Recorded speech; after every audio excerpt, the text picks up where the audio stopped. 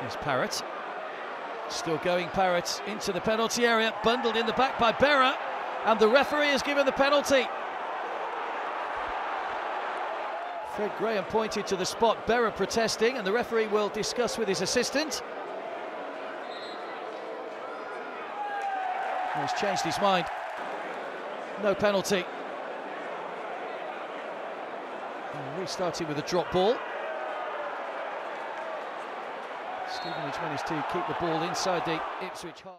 Into the penalty area, bundled in the back by Berra.